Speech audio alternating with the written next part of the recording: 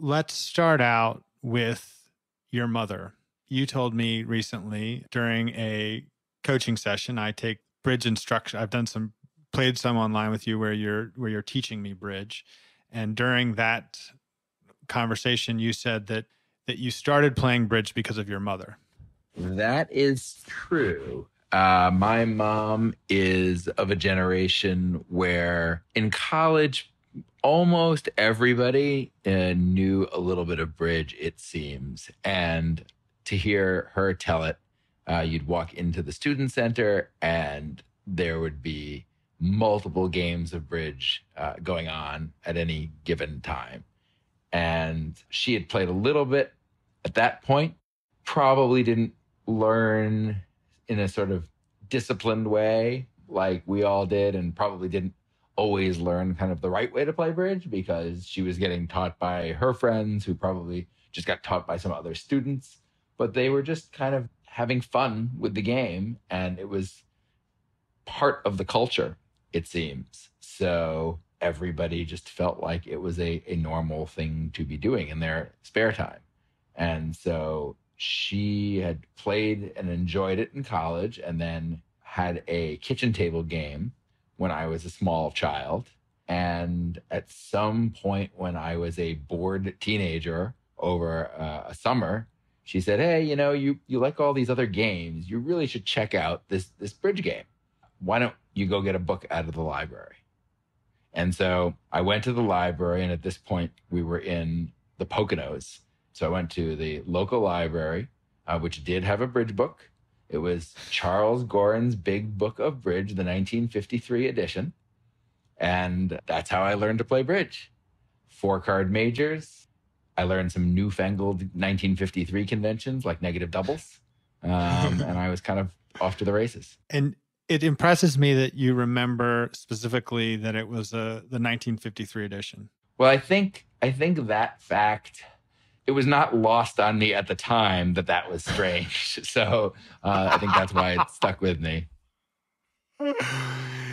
So you were 13, and this was the summer before eighth grade, or I was 15 15, I believe. Although, interestingly, I have uh, less of a coherent grasp on on the year it actually was than than the year of publication of, of the book. uh, I think it was the summer of 1991, but I I wouldn't swear to that. And so there's something to elaborate on that. You uh, this is in the Poconos, and you said that soon after getting the book, you went to the local bridge club and played. And then the next time you went to the local bridge club club and played, the club had one life master and they arranged for that life master to play with you.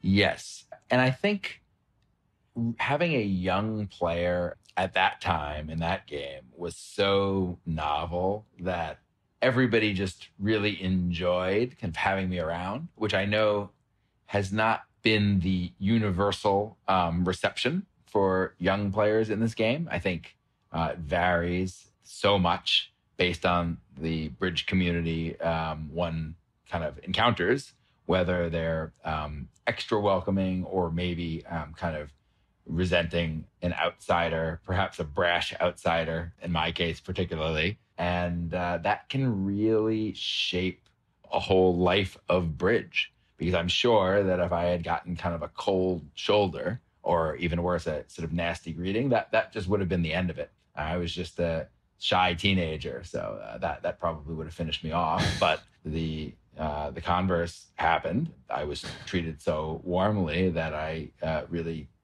fell in love with the game and pursued it.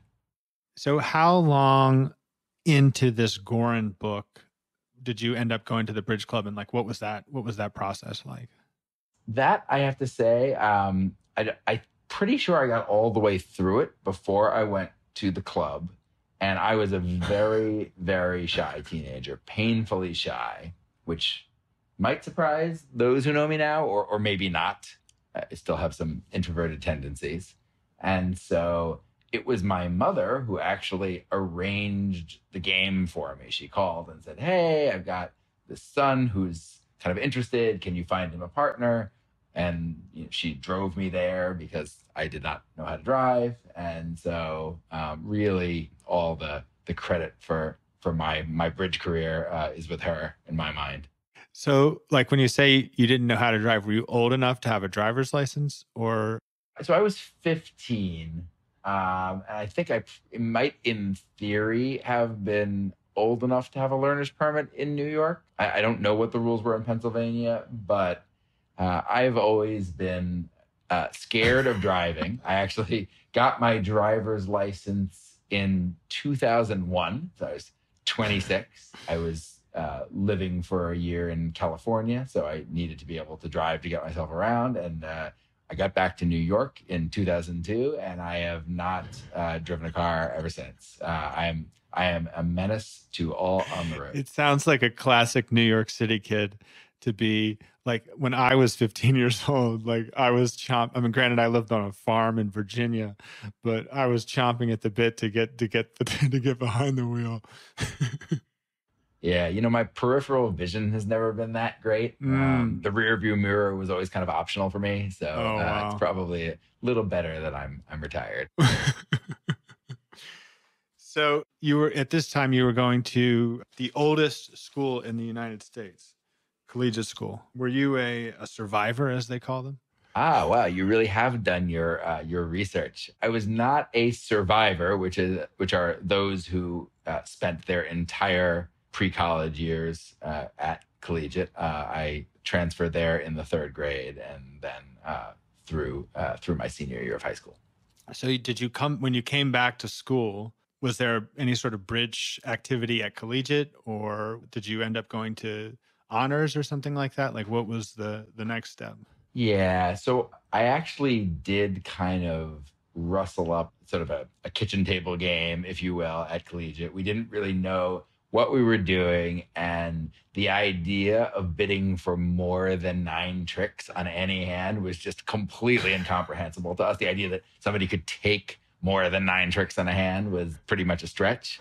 So i did have that as part of my my early experience but fairly quickly, and again with my mother's uh, prodding and uh, you know phoning ahead and all that, I ended up at the Manhattan Bridge Club, which was uh, at the time in a basement um, on West Seventy Third Street, I believe. Uh, we shared uh, the space with some Hungarian gamblers. I'm not still sure to this day exactly what card game they were playing but I got very lucky there uh, because at the time there was a really vibrant junior bridge community in New York City, and it was centered at the Manhattan Bridge Club.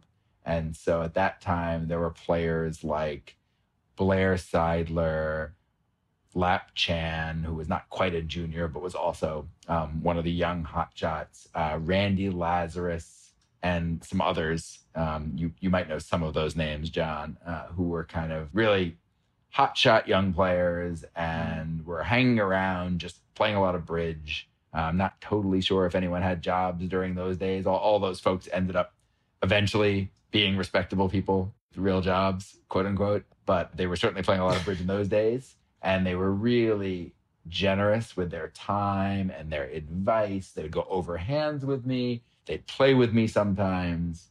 Uh, and so that was, again, just really important. I had a group of folks that I could kind of relate to. I was 16 probably at this point, but still, mm. even though these these guys were you know, five, 10 years older, um, still, um, that's very different for a 16 year old than kind of interacting with a senior citizen. So it was accessible for me and uh, really, really educational going back to this first game in the Poconos, like were you already like did you already you were you you described yourself as being kind of a a little I don't know that obnoxious is the word you use, but that you were sort of sure of yourself at bridge. Like were you do you remember that being the case in that first uh Well, I think most teenage uh kids, certainly boys, posture a lot. Mm. Uh, so I don't recall. I think actually one strength that I have in in bridge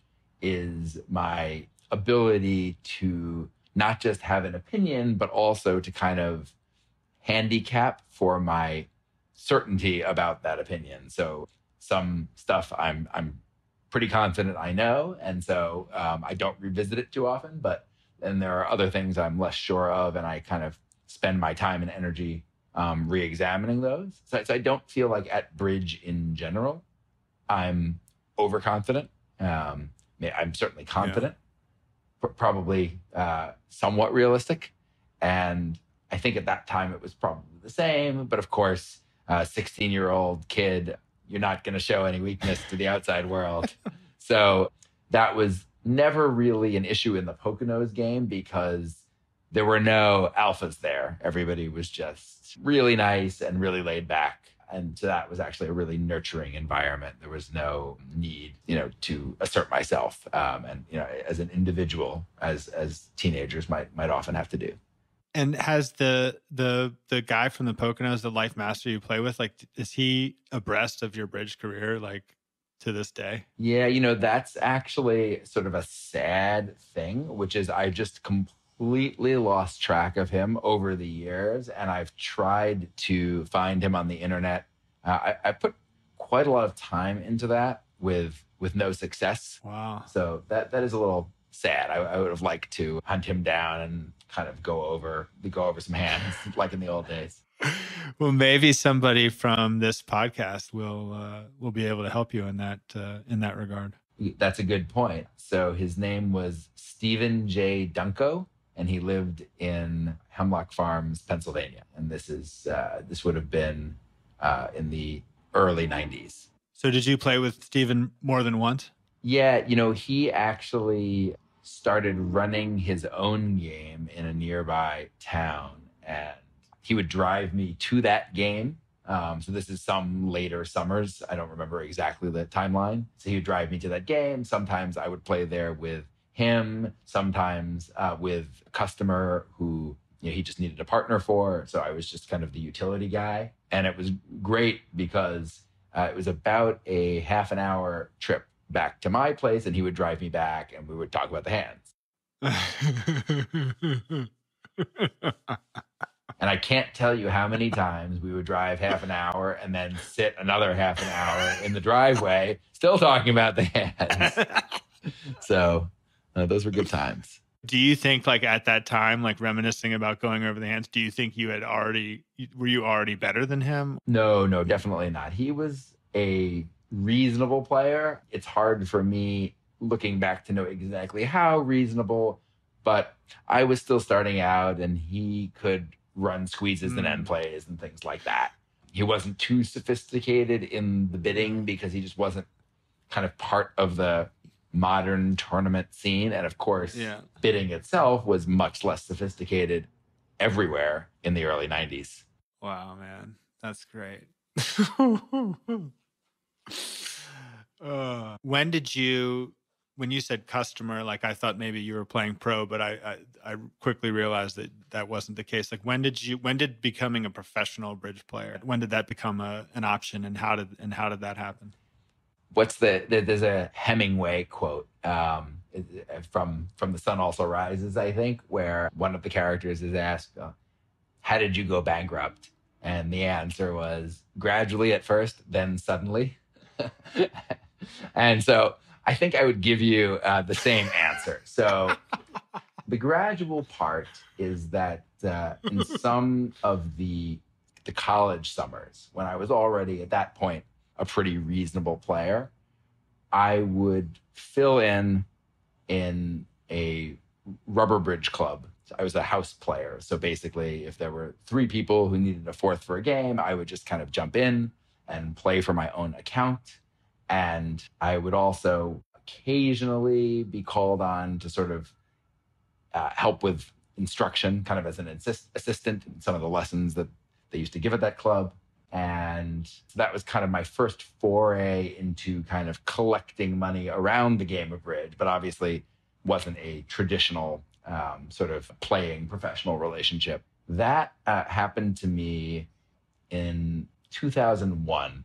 Uh, I had just done a three year stint on the floor of the American Stock Exchange, trading stock options. things were uh, not good for me in the dot com bust era. So I uh, left the floor and uh, really didn't have any plan for what the next step was going to be. And right around that time, completely serendipitously, I think, um, I was contacted by uh, a player who actually wanted help winning some of the local regional events that New York had at that time. New, New York used to run these reasonably prestigious multi day knockout and pair games. Back in the 90s, um, folks like Paul Soloway and Grant Baze would fly in with their sponsors to play in these events. And they were just large events with very strong fields. And so I was hired to help this player win the Goldman pairs, um, which is the two day pair game, which he had never won. And that ended up kind of blossoming into reasonably long term uh, professional situation for me. So you did actually win the Goldman pairs with him. Did we win the gold? I'd have to, I, I don't actually think we did, but we were, we, we decided to play the 2002, I think, Cavendish pairs. And I think we were leading after three sessions of that. And so um, this was uh, my partner's name Glenn Milgram, who's actually a really excellent player in his own right. And, you know, hopefully I had some contribution to that, but um, he's also extremely uh, knowledgeable and talented player, very tough opponent. Um, and so we ended up kind of not really worrying about the Goldmans and trying to win national events instead. We came seventh in that Cavendish pairs, and we had um, a number of top tens together in national pair games, including two seconds and a heartbreaking loss of the blue ribbon pairs on literally the last hand of the event.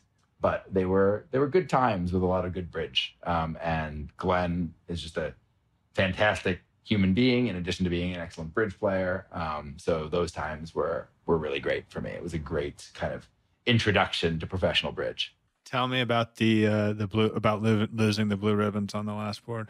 Yeah, this was fairly brutal roller coaster of an event. So on day one, I had food poisoning and was not playing particularly well, and we ended up in a tie break for the last qualifying spot uh, we had exactly the same number of match points as someone else, and it, it, the tie had to get broken by board a match, um, which the computers couldn't do at that time. So the directors had to kind of break out the scores by hand and and board a match us um, against one another or ho- however it was. So we got in uh, last qualifier on the first day. We had two consecutive 65% games the second day to be in third place um, going into the finals we had a third 65% game uh, in the first final session. So we were now ahead of second place by two full boards and three full boards plus ahead of everyone else. The second place pair was Bramley and Lazard, um, who we, as the movement fate would have it, we were we were fated to play in the last round. So uh, we're playing along in the evening, and I think we're doing pretty well. I, wow. I feel like when we sit down at that table, we're we're well over sixty percent with that lead, and so I'm kind of I, I'm feeling pretty good about it. But then you know, Bramley asks me, "How are you doing?" Just like that, and I said, "Uh oh, you know, that's somebody who thinks they have a chance from two boards behind." Um, so we had it was a two board round, and we had two two bad results. The first result, Bramley and Lazard opened Flannery with an unsound hand, just looking for the swing. They explained afterwards, and reached four hearts from kind of the concealed side of the table, and basically we had to make a a almost impossible defense where um, at trick two with dummy having uh, they they reached four spades. I guess it went two diamonds past four spades, and Glenn had to uh, he, he led his ace king, and then um, seeing the dummy after the opening lead, he had to switch to Jack Doubleton of hearts with ace 10 9 fifth in the dummy, um, just to kind of get a trick for my king. Um, whereas, you know, he knew nothing about declarer's hearts. I declare could have had king empty third of hearts and it could be blowing up a trick. It was just, it was just an impossible play to find. So we got a stone zero because it was not normal for them to be in game. And certainly anybody else who was in game from the other side of the table, which I think was more normal. It was going to start, you know, one heart, two clubs, two spades, you know, something like that. Anybody who was playing from the other side of the table would have been defeated easily because the switch was much more obvious seeing the the, the dummy at the, at the other table.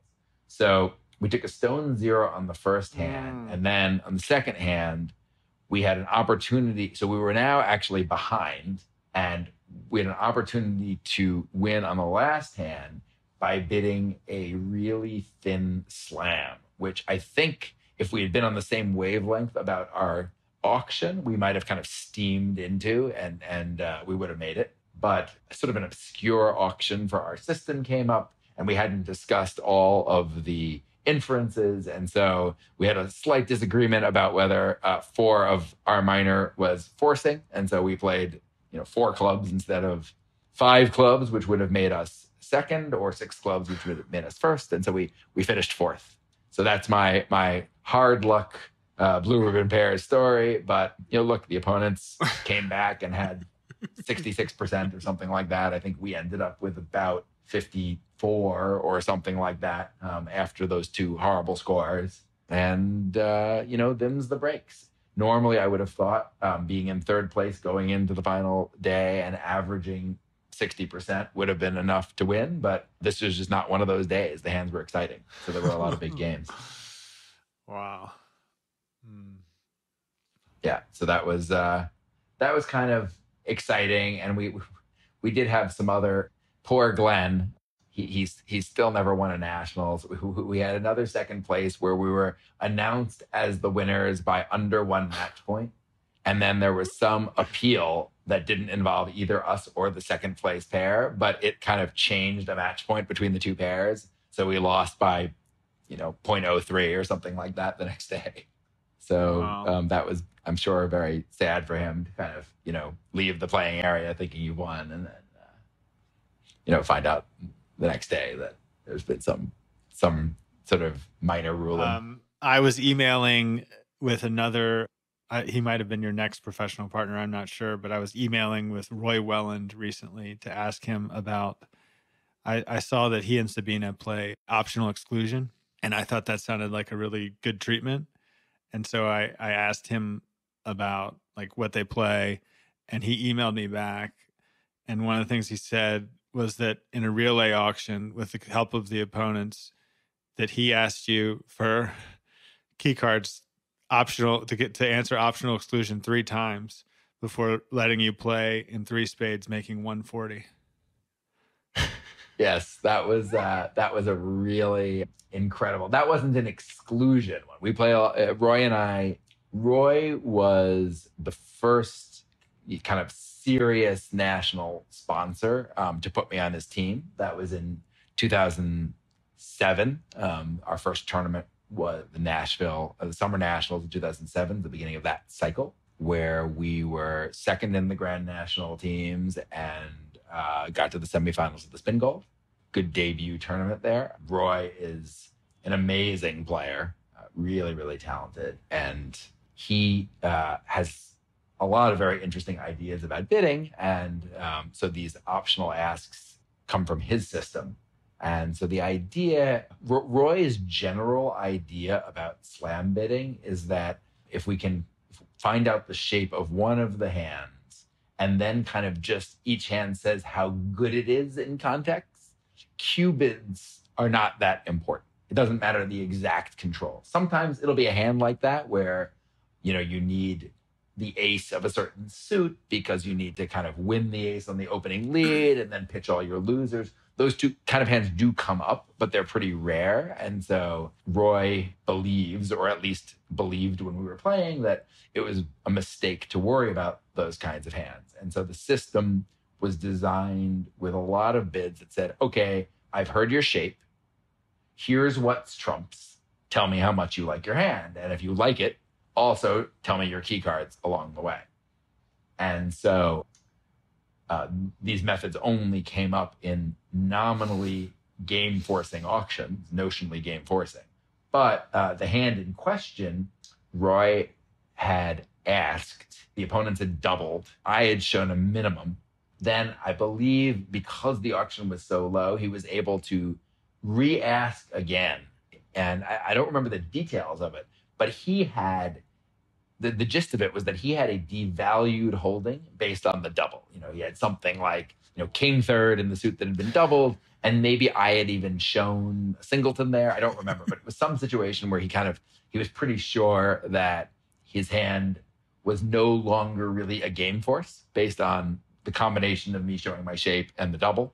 And uh, so when I had shown a minimum minimum, um, it just happened that that step that I showed the second minimum with was mm-hmm. our trump suit. So he was able to pass. And, Roy, I mean, mm-hmm. he actually, he's, some players kind of care only about results, and Roy is super competitive, but he also loves um, beautiful things about the game. Yeah. Um, so I think that's one of the reasons the deal excited him so much, right? It's just something where you launch into this game forcing relay, you're thinking maybe there's going to be a slam, and then things come up just so, and you end up playing in three spades. Uh, and that is actually an incredible thing about bridge is just you, you never know where any hand is going to take you. What was the the event? Imps, match points, what? It, it, was Imps. Roy and I almost never played match points, and when we did, we we did horribly because our style was ultra aggressive, ultra ultra aggressive. Yeah. Um, and so uh, that's a, quite a reasonable Imp style. Less good in match points. Match points is much more of a conservative game, um, at least strong match points. And so this must have been imps. I don't particularly think it was one of the really major events. I think it's just it's such a remarkable occurrence that that could ever happen in bridge. That's why it kind of stuck in both of our minds. I, I was pretty sure what hand you were going to talk about when when just when you started to mention Roy and him recounting a hand to you. By the way, David Lourie is the new headmaster at Collegiate. I think he's coming in this year. He was the previously he was the headmaster of my elementary school alma mater, St. Anne's Belfield. Oh, I, I guess it, the private school world is sort of a small world. It's not surprising in, in retrospect. So in uh, in some of the some of the research that that Michael did back in 2012, you said your best result was was getting to the semifinals of the Rosenblum with uh, with Michael Rosenberg. Yes, I was very proud of that result. Michael and my um, second tournament together. So I guess there's some theme here, which is maybe all my partnerships. Uh, you know, we start out, you know, with our our best results. That's pro- probably not so good, um, not so good a theme. Um, maybe maybe some reason for that is that when you're starting out, everyone kind of tries to build a fence around partner. You both kind of know that you're not on firm ground, and you make um, allowances. And then maybe maybe later it's easy to sort of not accident proof everything so much. So maybe it's, it's easier to start having some more silly results. But uh, that was a great tournament because jeff wolfson had kind of decided um, pretty much at the last minute to um, return to competitive bridge for this world championship now um, everybody i'm sure who's listening knows jeff as a fixture in the high level events um, he had also been a fixture in the mid 90s to the early aughts, but he'd taken quite a number of years off of serious bridge, I would say. And so he had a first time partnership for that event with Larry Cohen. Um, he asked Michael and I to play, and we were joined by uh, Ron Pachtman and Eldad Ginossar, who were at that time a kind of hotshot young pair who had relatively recently won the European Open teams. And we started out pretty rocky with, with after two of two days of the three day round robin, we were fairly long shot to qualify. I think out of the 75 victory points that were available, we needed wow. about 60 of them, give or take, um, looked like going into the final day. We ended up getting 72 of them uh, and qualifying easily. And we had a rather difficult run, I would say. In the round of 32, we played the South African team that had been in the finals of the most recent Olympiad. Um, so we won that match. And in the round of 16, we played Cayne, which was Cayne and Michael Seamon and Balicki Zmudzinski and Lauria and Versace. We thought at the time it was a hard team. Now uh, I realized not only was it a hard team, but we were probably being cheated as well. Um, but we did manage to ride a huge third quarter to victory in that match. In the quarterfinals, we played Fleisher, which was Fleisher and Kamil, uh, Martel and Stansby, and Levin and Weinstein. And we beat them in a match that was kind of close the whole way. Uh, I still do remember fun hands from that one. Uh, and then we played Nickell in the semifinals, where we had a very wild uh, set of boards in the fourth quarter, and unfortunately, we lost by four. We just uh, you know needed the the clock to expire a little earlier or a little later, maybe, since uh, that quarter the lead ping ponged around um, quite a bit. And so I'm very proud of that result because we really beat a lot of truly excellent teams and gave um, Nickell, which is obviously the best team of the modern era, a good run for its money.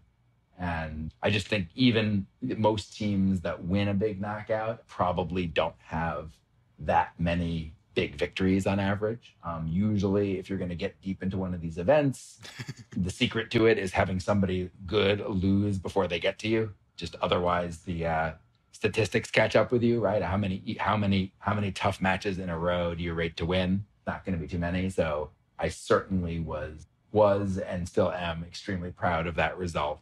Um, we lost the bronze medal playoff against Fantoni and Nunes. So again, you know, this this tournament definitely has a uh, tarnish over it in this way, in my mind. But you know, that doesn't really take anything away from the you know, all of the good tough matches that we played against honest teams.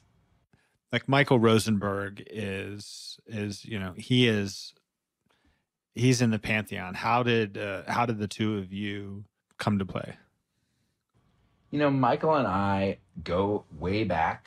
Um, we were friends on the floor of the American Stock Exchange when we both traded stock options there in the late 90s. And we used to spend a lot of time talking about bridge because I think one thing that anybody who knows both of us knows is that we can kind of, you know, talk until everyone else is bored and you know, we'll, we'll just keep going together. So we knew a lot about how the other person thought about bridge. I certainly respected Michael's game. Um, certainly at that time, he was established and I was not. But uh, I guess he had sort of come to um, respect my game. So Andrew uh, had Michael on his team and needed a partner for him. And so um, I had been friendly with Andrew since the mid 90s. He's also a, uh, a collegiate man. And uh, it, we we always had a really nice relationship. He, he's just a great guy. And um, that's what he thought made sense for the team. And so Michael kind of agreed to try it out. And, you know, we had a Spingold and then we had that that Rosenbloom and you know we were doing well. So we we stuck with it for for five years. Um, who was a better trader, you or Michael? um, it, it's very hard to know. Um, he wasn't trading the same products I was trading, but uh, I, I I suspect he was probably the better trader if I had to guess. So would you say like still to this day does that uh, is that uh, rank up there like uh, as your best result? Or would it be the Spingold losing in the finals of the Spingold in 2018 like it's tough to say. I i guess i think that in if you if you measure kind of bridge accomplishments by kind of who you beat that rosenbloom is still kind of the most good teams i've i've beaten in in, in one place that run to the finals of the Spingold was great but uh, we did have the traditional luck that uh, one has when one does get to the final, which is um, a lot of the seeded teams kind of lost before we had to play them. So uh, obviously we we beat who was in front of us. That was good, but uh, it's all you can do, really. It, you know, it'd be hard to say. I I also I think I might put you know finishing fourth um, in the world pairs with David Berkowitz um, in 2016 uh, 16, yeah, 16, 14. and- uh, 14, 2014. That's right. Um, when we kind of filled out a card for half an hour over dinner um, and just and just played. You know, basically we had the front of the convention card filled out, and that's all we knew.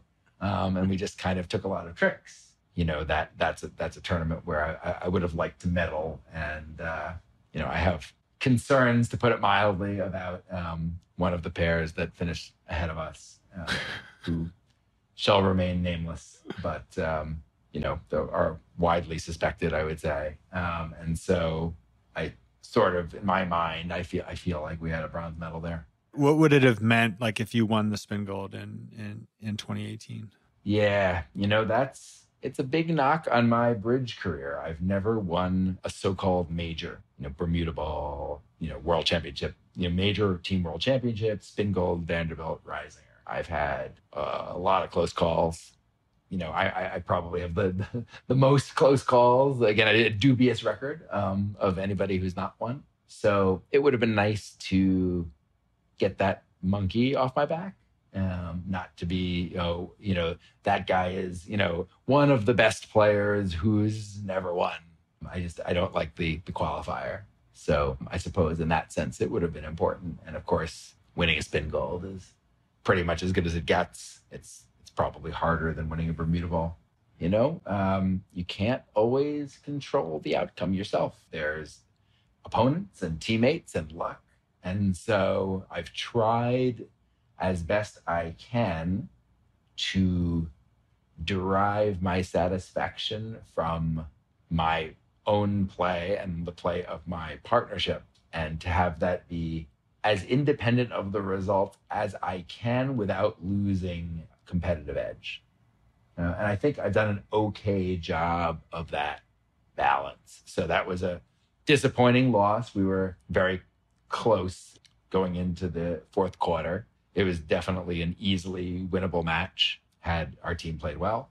But life goes on and my life is excellent. I have, you know, a great wife and just a great group of friends and most of them come from Bridge. It's an amazing community. So, you know, I just try to be very positive about all the ways that I'm lucky. And then it's it's kind of easy to forget a bad Bridge result. It's, it's really uh, a small thing in the scheme of things. Would winning the blue ribbons have qualified for like a major in your mind? Mm, that's I mean winning the blue ribbons is nice, but it's not it's not a major. Winning a three day pair game requires beating up on weaker players than you, whereas winning a major knockout or winning the Reisinger uh, requires beating up on players that are roughly equal to you. So that that's just a, it's a different it's a different type of of skill and it's a skill that fewer people have. There there are lots of folks where if the hands come up that way, um, they can win a three day pair game. And you know, I think if you look at the results of three day pair games throughout um, their history, you'll see a bunch of winners that are very famous and a bunch of winners who kind of have never come anywhere close again. Whereas if you look at Spingold winners, it's a pretty select club. It tends to be the same small groups of folks over and over again. Um, there are some exceptions, but many fewer. Well, that's an honest. I mean, I appreciate your I appreciate your honesty and your candor in in answering the, those questions. What like was there a point in your bridge playing career when you were like, I can be one of the best in the world at this? Like, what what was the what was the point when you when you decided that man, I'm I'm like I'm exceptionally good at bridge. Those are my words. You know, they, might not, not be yours, but uh, those are my words for sure. Here's how I would phrase it, right? At some point, a player can have a realization that they can compete against the best, right? Um, it's hard to know what, what is a great player, but any player that can kind of compete against the best and really give them a run for their money, you know, that's that's a strong player. And my first realization of that came in 1997 in the Spingold. So I just graduated school, you know, May or June, whenever it was. Then, you know, off, to the summer nationals, very exciting. I had a Spingold team, which was, you know, good, solid, um, you know, sort of regional experts from New York and New England. We reached the quarterfinals, um, having upset some pretty good teams, and we played Nickell there. And after three quarters of the Nickell match, we were down either two or three imps. I don't remember what it was. Right. So, very, very exciting situation. Obviously, I remember being really nervous. And, you know, our team actually played okay in the fourth quarter, but got sort of outplayed and outlucked. Um, so we ended up losing by, you know, something in the 30 range, I think. You know, if you can get down to one quarter of bridge, 16 boards against um, a team that's won the previous three Spingolds, right? No question, this is the best team in the world. You say, well, you know, it, those 16 boards could have gone the other way. And so if we can beat this team on the right day, then anything is possible. Were you four handed, five handed, six handed? Six handed. I was actually uh, playing um, for the U.S. juniors at the time. And so while I was playing in the Spingold, I was also playing with my junior team in the morning knockouts. And so I would wake up at 8 a.m. or whatever it was to play the morning knockouts. Um, I had the first quarter sit out every day, so I could, uh, you know, finish finish the morning knockouts up at kind of 11:30, and then eat lunch and take a nap, um, so I could be ready to play in the Spingold and, and not fall asleep at the table. I remember that pretty well. That that's that's the kind of thing you can easily do when you're 21 years old. Who was your Who was your junior partner? So I played with Eric Greco a couple of years in the juniors. I have never entered a junior trials because uh, those days the ACBL used to run the junior trials opposite major events, and in fact, I think that the trials for um, that particular junior team had been run opposite the 1996 Spingold, if, if I'm not mistaken. And so Eric and I had not played in the trials, but we were added to that team. And um, that was a real pleasure for me because he was certainly one of the strongest players that I had ever played with, you know, in those days. Um, and, and still, but know, certainly at that time, it was, um, I, I, have played with quite a few Hall of Famers in the meantime, but it was really um, sort of an exceptional experience to play with him then. Yeah, Geoff Geoff Hampson said when I interviewed him that he's not even sure he's the best player in his partnership. yeah, Geoff. Yeah. Yeah, Eric. Um, I mean, of course, I'm sure he and I both, you know, know a little bit more about the game today than we did, you know, t- you know, 20 plus years ago. Um, so we're probably both better players than we were then. But you know, we played pretty well in those days, and what we lacked in sophistication, we made up for with naked aggression, which in a junior event you can get away with. Uh, so we actually played quite well. We reached the finals of the uh, World Championships one year and lost to the Italians, and that was really fun. Um, it never came up for me to uh, play with Eric again. Maybe maybe someday. Are any of the Italians that you lost to like are any of them? They they weren't. None of them are what you would think of as the the famous Italians. Um, they're yeah. they're kind of you know, good local Italian players. So they've won some Italian national championships and so forth, but none of the, hmm. you know, Lavazza teams or Angelini teams or anything like that. Um, it wasn't that level. None of them quite, quite made that cut. Um, actually, one of them is a fairly prominent WBF director, Bernardo Biondo. So that's a name that um, folks who go to the European championships, the world championships will probably know. He's probably the best known person from that mm, team. Yeah, I don't, I don't, uh, I don't recognize him by name. So going back to your to your mother, does your mother still play bridge to this day? Yeah, no, my mom. The the instant I kind of really got into the bridge community, she got out. I, I dragged her back for um, a duplicate or two in the early days but she said I made her nervous, which I'm sure I did. And now she says, you know, I don't want to be like the other Willenken in the bridge world. And I, I, can kind of understand that. If you're kind of a casual player, it's easy to be kind of subject to scrutiny if you're related to kind of a well known player. Right. Tell me about being on the debate team at Williams, the team of the year in, uh, in 1997. Oh God, they, you're really uh, you're digging up old, ancient history now. Yeah. So um, when I was in college, there wasn't really bridge at Williams. I, I played a decent bit of OK Bridge, um, which was the computer bridge back in those days, the only thing. But I actually chose Williams in not insubstantial part because there was no bridge community. I, I feared failing to graduate if there was a, you know, a, a, constantly running bridge game in the student center. So I needed to find um, some other kind of game to play for fun, and parliamentary debate was it. The way parliamentary debate works is the sort of so-called government side, or what um, other forms of debate might call the affirmative, proposes a case. And in parliamentary debate, it can be essentially any case. The only requirements are that all of the facts to be used in the debate be part of general knowledge. The so called opposition side, um, who's responsible for kind of refuting that, has to stand up after the government is done presenting without any prep time, without any prior notice of the topic to be debated, and kind of go for it. So um, it rewarded clear thinking, fast thinking, general knowledge, and rhetoric skills.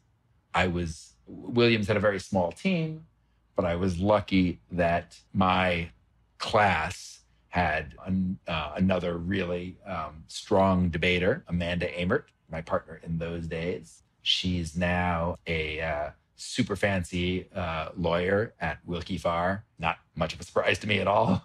And Amanda and I kind of took our knocks, learning from square one because there were no older people on the debate team. Um, we just sort of started it in our year or restarted it. I guess there had been a historical team. And uh, our senior year, we were uh, so the top ranked team in in the country, and that ranking, be, being becoming the so-called team of the year, is determined kind of in a similar way to the way that the top seed in the US bridge trials is determined. So the major events all pay some number of points for first and second and so on down. And so the top five so called markers, the top five scores for each team kind of count.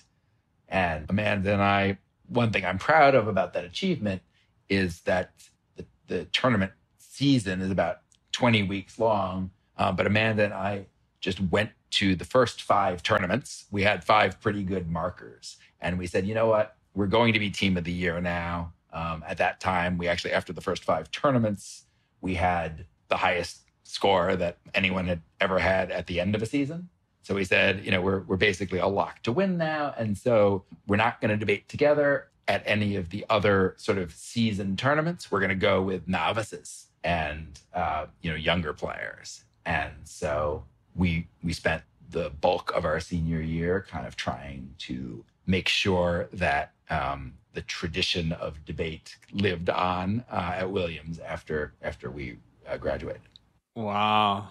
That's awesome, man. We uh, we had a temporary win. Um, so the team did run on for maybe another you know, four or five years, but I think after that it kind of faded out again. It's one of the you know one of the issues with having a team for an esoteric activity at a small college. Right, my graduating class was around 500 folks. So if you get a year where people aren't interested in it, you it, sometimes it can be difficult to recover. Does your mom like like to take pride in in like your success in, in bridge? Like, does she does she like to take credit for that? Uh, no, no, she wouldn't take credit for it. And I sort of suspect, I mean, she wouldn't tell me this, but I suspect she'd probably rather um, that I had some sort of uh, real job that she understood. I think she resigned herself to bridge at this point, but, you know, probably would have been happier if I'd been a doctor or something. Does she live in New York City? Yes so your regular partner, your regular expert partner for like Nash for big events is uh Jan Jansma. Yes. What's it like? What's uh I think Jan has got I mean I've played against him uh, in mostly in pair games, but he he's got he's I th- I think he's a pretty like he's got a he likes to laugh. I've been to dinner with you guys. What's it like playing with Jan? Well, uh he's a little bit more intense kind of in real life than you might think if you just met him at the table because he definitely can laugh at the table but um, he's also a very kind of focused intense player although he doesn't necessarily show that side as much to the opponents. So he's a, a really tough competitor and a really excellent uh, card player. He's very tricky. So he's often trying to paint um, a wrong picture of the hand for the opponents. So that can be very tough to play against. What about to partner? Is it tough to partner with uh, with those types of deception going on?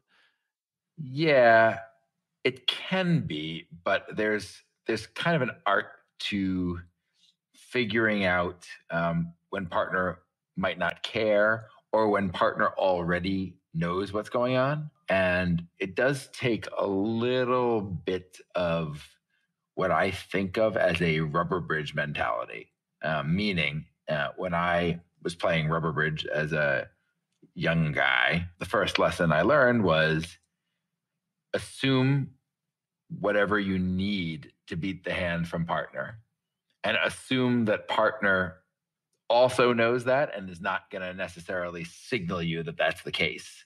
So defend on that basis and signal around the other stuff, which might or might not be necessary. So sometimes, um, for example, I know that you, my partner, must hold the ace of spades for us to have any chance to beat the contract. Let's say it's 3 no trump and I can count nine top tricks for declare if you have it. So I may hope that you're going to false card in uh, spades to deceive declarer. Or alternatively, if it's a situation where I need to guess what to do, I might think that if you did encourage, you had ace king or ace queen or you know something in addition to show me. So um, there's that kind of extra level of inference that's kind of baked into the signal. And of course, both partners are not always on the same wavelength, but I think we're pretty good at that. We have a high batting average. That just strikes me as like a next level type of play that your partner knows that you know that he has to have the ace of spades for us to have a chance and so like i mean that's it's exciting to hear about it like it, it's exciting to think that that type of play is going on because I, it's not something that I don't think I don't know that I've ever I don't know I, I don't I don't think I've ever been in a situation like that deeply into a hand doing that. So that's that's why you get that's why people are hiring the two of you to play in big events you know, it's it's interesting that you say that the first part of it because when I was coming up and again playing a little bit of rubber bridge, that was considered kind of an advanced but not expert rubber bridge play concept. And I think hmm. what has happened is that we all play so much duplicate, right? There's very little rubber bridge now, mostly duplicate. And most duplicate is match point pairs. And so obviously this approach can cause issues in a match point pairs. You might need to kind of more subtly signal because the goal is not necessarily to beat the contract, just to get as many yeah. tricks as we can. So this whole idea of, oh, I'm going to assume a partner has X doesn't really work yeah. that well. And so I think most players kind of start playing in some local match point event.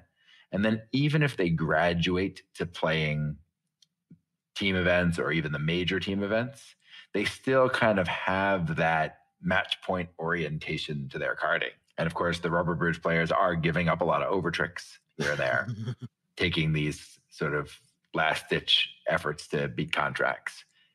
But uh, I, I do think a lot of it is just kind of, it's really hard to have two completely different gears for match points and imps for a partnership obviously uh, there do need to be some differences. There's going to be some different agreements maybe even for a well-honed world-class partnership at the different forms of scoring but uh, it's really hard to change your whole mentality. So i think in practice there's kind of more match points in our imps than there should be.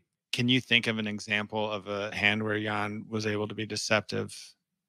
We, we actually won a really close quarterfinal a few years back, uh, where the upshot of it was that he he kind of needed the it, he had entry problems, but it wasn't obvious, and he needed to kind. So he basically he needed to try to get a ruff in a, in the dummy, and and so he kind of he, he basically it, it's really complicated position, but he led like low from too little towards queen and one, which now kind of caused the opponents to play a trump from something, which allowed him to get to the dummy. It was like, like some sort of crazy hand. I didn't even have to dig it up. Um, it was like really a you know potential you know brilliancy prize hand, um, just where if you mm. looked at it, you know, for for me now maybe I have that club in my bag because I've seen it but it's the kind of hand where you could have imagined a really world class technical card player staring at it for five minutes and not finding the solution because it's not a technical play. Mm-hmm. It's just realizing what the deal looks like to your opponents at the same time as you're right. kind of, you know, playing it yourself and trying to think about what the actual right. deal is. Right. Um, and, right. and I do think both of us have a bit of that, I, am pretty likely to spurn um, the best technical play in exchange for kind of information concealing plays. Mm. You know, so to mm. pass up, oh, you know, you can, you know, you can play for you know three three and the thing on side, or you can uh, hope they don't find the switch and uh, kind of try to set up a trick in another suit. And so, just mm. obviously, each situation is context specific. But I just say in general, I don't mind somebody saying after the hand to me, your play was 0% and you could have done this other thing. If by 0% they mean I needed a missed defense. Because uh, in, mm. in real life, you do often get missed defenses. And also, there's if you are known to be a tricky declarer, you may pick up points on a normal hand where you're just doing something normal because the opponents are worried that you've taken a non-technical play. So um, I'm comfortable mm. with that. How much is the quality of opponent or sp- opponents specifically does it go into? Like, uh... yeah, it's a really interesting question, and I think kind of it, it gets back to a more general question which is how do you best outsmart some particular set of opponents? Because when we sit down at the table, obviously we're kind of trying to do well on our own decisions, but also we're trying to anticipate the opponent's thinking and kind of be uh, one step ahead of them. But I think the key there is being exactly one step ahead of them. So, in other words, uh, you, to take a simple example, um, a dramatic false card isn't going to do you any good against an opponent who's not kind of looking at what you play, and maybe you threw away mm. something useful or misled partner or, yeah. or something. So it's definitely true that the opponent's level um, matters a lot, but there might be some plays that you would try only against strong opponents because you have the way I always like to think about it is having kind of control of the table. What I mean by that is you're pretty confident that if you play a certain move, the opponents are going to reliably play a move in response.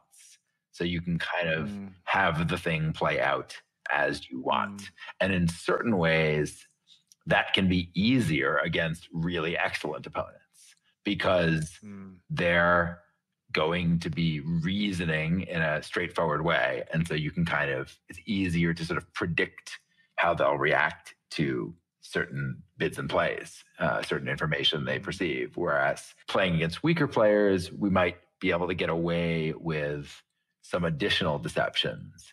But we also are likely to prevail if we just play straightforwardly and you know don't mess up and don't miss any technical chances. So um, I would say it's not that there are more or fewer opportunities depending on the level of the opponent, just different opportunities. Like, can you think of a time when your like opponent like that was really you did great on you did really well there? Um, or is that something that's at the table during a during an, a big match? In my experience, when people get swindled, they almost never make that kind of comment. Whereas uh, they may well make it for um, a great kind of technical play, and, and, and that's not just for kind of the obvious reason that maybe they're feeling a little stupid and so um, they're not going to say anything, but also because they kind of know they messed up, but um, a really strong player who knows they've messed up is not going to be spending a lot of mental energy thinking about you know, mm-hmm. why they messed up. They won't know, necessarily know mm-hmm. at that moment, have recall of exactly mm-hmm. what their thought process was. And so they're probably just on to the next hand most of the time. And that's obviously a critical, critical skill in bridge. If you dump some imps, um, well, hopefully the opponents will dump some imps on the next hand and you'll be back to even and go from there. Do you have any sort of cue phrase for yourself or something you say to yourself when you have a bad result? Yeah, you know, it's interesting. I I don't tend to be bothered by individual bad results.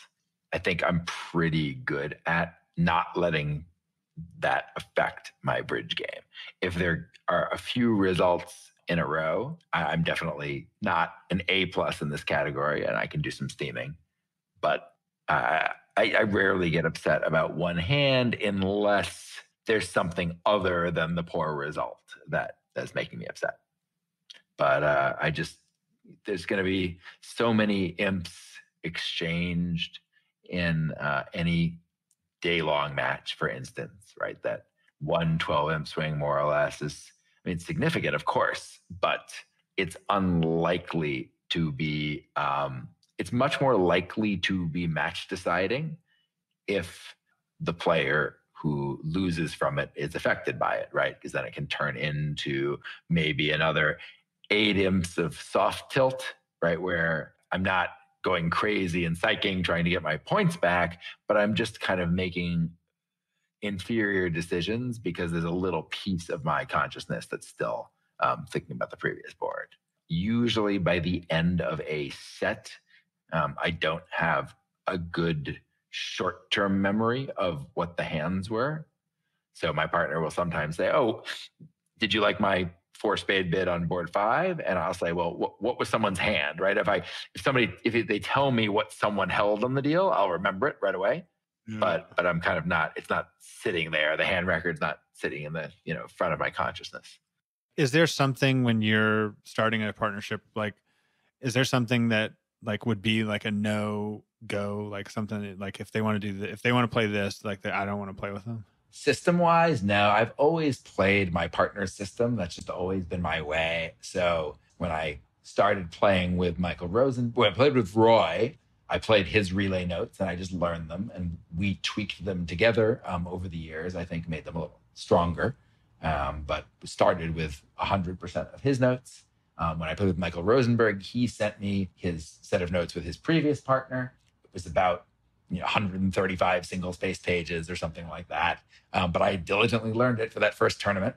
Um, and I think by the time we got done, it was um, around 400 or so. My, Michael and I, we, we, were scientific in those days. Um, we had a lot of agreements. Wow. And uh, with Jan, um, it's actually been a little closer to a blend. So he really likes Polish club. And so doesn't really care that much about other stuff. And so I said, okay, well, how about we do it this way? I'll play your Polish club stuff. So like your your minors and you can play my majors. And so um, that sounded good to him. So that's that's what we do. So this is actually the the most input I've ever had. But I'm really happy as long as it's sensible. I'm really happy just to play whatever makes my partner comfortable. Did Roy design his system on his own or did he get it from somebody? Like so we were playing, I guess, um, what what is now become uh, known as transfer Walsh with a sort of a relay overlay on top of it. Um, so the transfer Walsh ideas were originally Scandinavian. Um, I think Swedish, but wouldn't swear to it. I certainly I started playing them. I was actually playing those methods, I think before Roy got around to it, um, I played uh, with a, um, a New York partner of mine who had played a little with Bjorn Fallenius. And so I think the transfer Walsh kind of drifted through in that way. Um, but the relays, um, I think that was Roy and Bjorn um, designing it themselves, but I, I, don't I don't know for sure. I haven't seen it anywhere else. So um, that's my best guess. One question I have, I don't know about your your father. Like we haven't talked about your father. Is he is he alive? Yeah, so my dad died of kind of a freak infection in 2016 where he was pretty pretty healthy guy who kind of ran all the time. And, you know, he was really looked out for himself. So that was kind of one of those. I mean, obviously, it's super sad to lose your father. And, you know, in particular, it's sad when somebody sort of really spends a lot of time kind of preserving their longevity. Uh, but basically, he just got some some really like rapid infection, and they didn't figure out what it was in time. Um, so uh, he was a great guy. Very, he was a he was an attorney by trade, not naturally, um, and a litigator, but but not naturally argumentative. Um, he just that was just his business. He was actually always very supportive of um, whatever I did as an adult. Uh, oh, you want to you want to you know go trade on the floor at, right out of college instead of taking a, an office job. Great no problem. Oh you want to play bridge professionally? No problem. He just uh, my dad went with the flow. And your brother uh, your brother has played some bridge? So i have a younger brother tim. He's five years younger. Um, he knows the rules of bridge. I've been trying to kind of get him to take it up as a uh, hobby but he's very social so um, I think he, he hasn't found the time or inclination yet. And like, do you have any projects like bridge related projects or like, uh, like what's, what's on your horizon? How are you dealing with the, the coronavirus? Yeah. So the last few months have been interesting. There has been a massive increase in demand for online playing and online teaching. So I would say at the moment, I'm mostly um, reacting to that demand, um, trying to kind of get everything scheduled in sensible way. Um, I think I'm now in the intermediate term at roughly 50 hours of lessons a week or something like that. So um, it's really, you know, there's not a lot of time for um, side projects, considering that I'm also the food shopper and chef in my family. Uh, and uh, given um, the quarantine, uh, I probably uh, cook about 10 meals a week, probably order in the other four, something like that. 10, 11, I cook. Um, so between kind of, you know, sort of taking care of the food situation and playing bridge and um, you know finding time to have a nice glass of wine mm. occasionally. Um, I wouldn't say that there's a ton of time left for other stuff. Uh, I have been to the extent that I'm thinking about anything in a grand way. It's it's how to optimize the new formats that are available for online teaching. Um, so Zoom, uh, for example, um, and additional functionalities of Bridgebase. Uh, the idea is um, figuring out how to cram as much learning as possible into a short period without detracting from the fun part of Bridge. Right? Because it, you know, first of all, many of the folks that I um, I teach, they're not serious tournament players. Um, so part of the goal for them is is really to have fun in the lessons. Um, you know, for more serious students, maybe the lessons are kind of a means to the end of um, kind of competing uh, more successfully. But a lot of folks don't have those kinds of ambitions. So I need to make it fun. And I also know that it takes a lot of learning um, to become good at bridge. I mean, I'm still learning every time I sit down at the table. Um, so my students really have a lot to learn. And so if I can make it fun for them and they won't burn out, um, they'll get to where they want to go um, a lot, a lot more easily. I've definitely, um, definitely been doing a lot of tweaking, trying different things. Uh, I have a bunch of different kind of speeds now, if you will, um, depending on what I think um, might be appropriate for the individual student.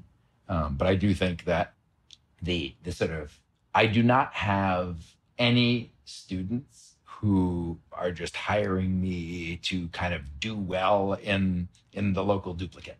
Um, everybody has um, some interest in learning, and so there is an art to helping them as well as I can. So that, that's that's what I'm working on.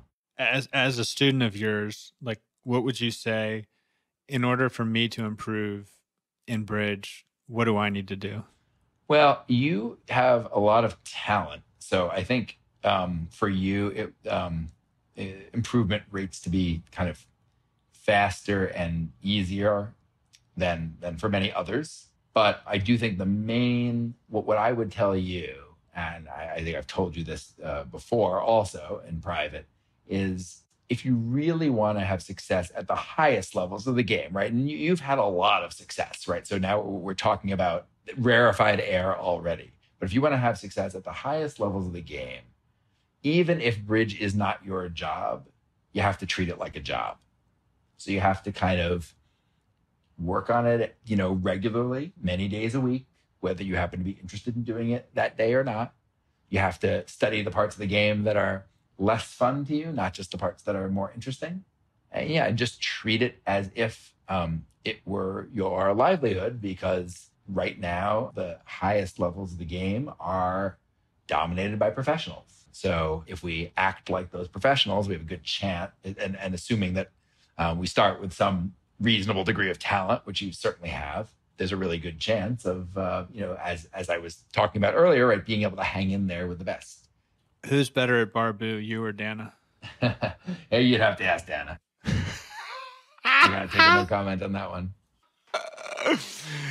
You're, I, I see you guys are on a team with Mig for the uh, upcoming Barbu World Championship yes, Migry and Dan and I are all kind of, and, and Migry's husband, Pietro, that doesn't really come to tournaments too often. So your readers might not know him. We're, we're all best of friends in, in real life.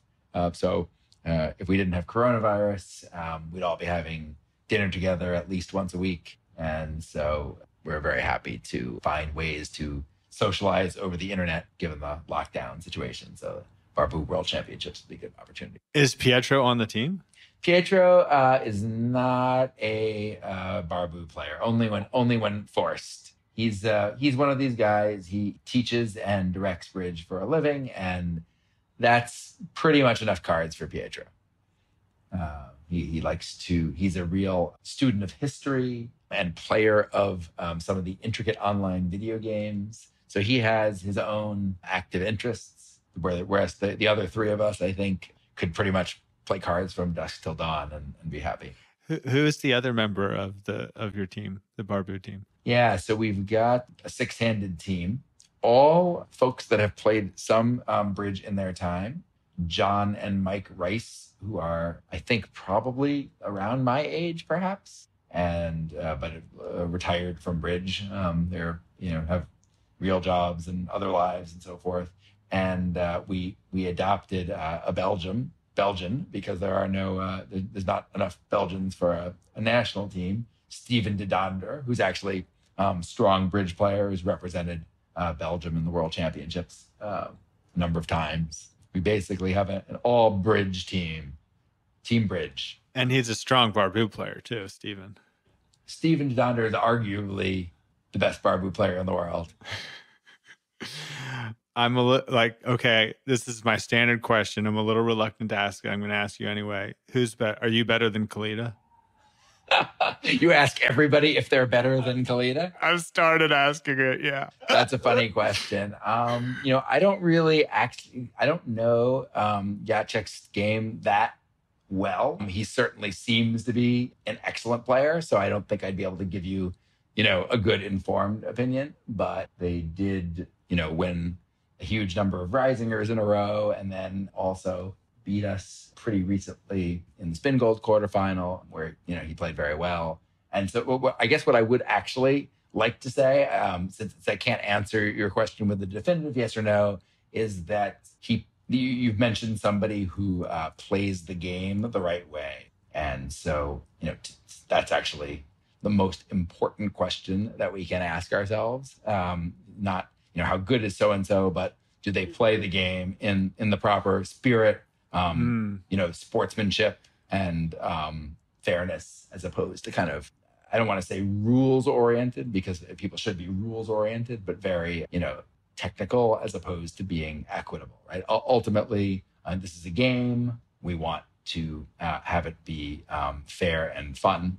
That he plays the game in that in that spirit. So that's the the most important thing for me. Well, I think that's uh, I think that's a great note to end on. All righty. Well, it was interesting talking to you, although maybe disturbing how much of my uh, my past you dredged up. I feel like I was, you know, on the psychiatrist couch, um, you know, more than in a podcast. But um, it was it was it was good. It was fun.